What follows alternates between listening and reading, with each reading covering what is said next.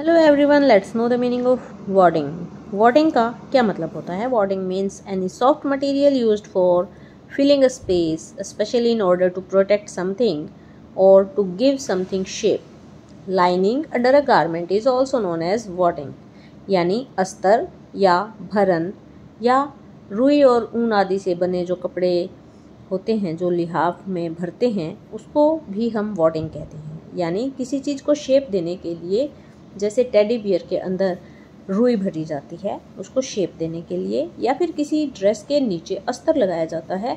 या लाइनिंग उसको हम बोलते हैं that is wadding for example the chandelier arrived in a big box tightly packed around in wadding आज के इस वीडियो में बस इतना ही. Thank you for watching